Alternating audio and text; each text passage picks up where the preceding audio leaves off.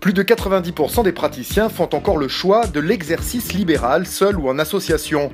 Mais quelles sont les différentes formes? Quels sont les pièges à éviter? Réponse avec le juriste Jean Villanova. Il y a de très nombreuses possibilités d'association et très diverses au niveau de la philosophie. Il y a d'abord les associations de personnes, la société civile de moyens, la société civile professionnelle avec une transparence fiscale, une égalité de traitement entre tous les praticiens. Ce sont les formes traditionnelles. Et puis depuis maintenant 15 ans, une quinzaine d'années, il y a des formes nouvelles, plus à même peut-être de s'adapter à des contraintes ou des contextes économiques particuliers, les sociétés de capitaux. Certains choix relèvent de l'impôt sur le revenu, d'autres de l'impôt sur les sociétés. C'est le cas des sociétés d'exercice libéral très prisées, mais gare aux déconvenus qui ne sont pas rares. D'abord, il y a les installations coup de cœur. Je m'installe là où je vais en vacances chaque année euh, depuis longtemps. Euh, c'est une belle région, les gens sont gentils, sympathiques. Oui, certes, mais est-ce que je pourrais m'adapter, me greffer à ce tissu?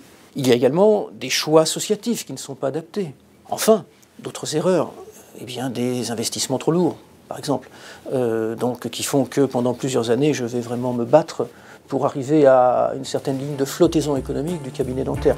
L'exercice libéral répond aussi à des obligations comme celle de l'assurance professionnelle. Le fait d'exercer sans assurance, c'est de l'exercice illégal de l'art dentaire avec des sanctions pénales extrêmement sévères pour le contrevenant. Mais ce n'est pas tout, car il existe des indispensables, parfois oubliés par les praticiens en début d'exercice. Il y a tout ce qui est indispensable, bien sûr, l'assurance du cabinet. Le, cabinet, c'est l'outil de travail. La prévoyance.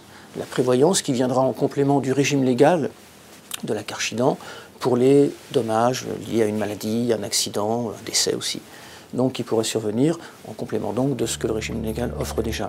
Pas toujours évident à maîtriser en début de carrière, le régime libéral est en réalité complexe. Alors pour les jeunes praticiens, il existe une forme permettant de le tester pendant trois ans maximum, la collaboration libérale, à condition de bien s'entendre avec le praticien d'accueil.